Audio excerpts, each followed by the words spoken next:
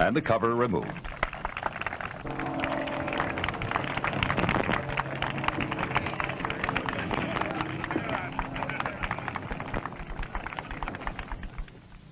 Your comforts, your safety, and your convenience were first considerations in designing this car.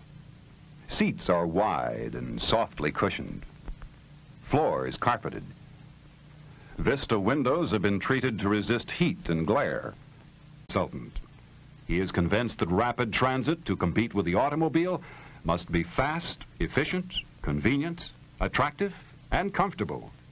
But most important to you, Emmons has said that the system must enliven the commuter's spirit and not be the twice daily nightmare that most existing transit offers. Architects are involved in every phase of BART design.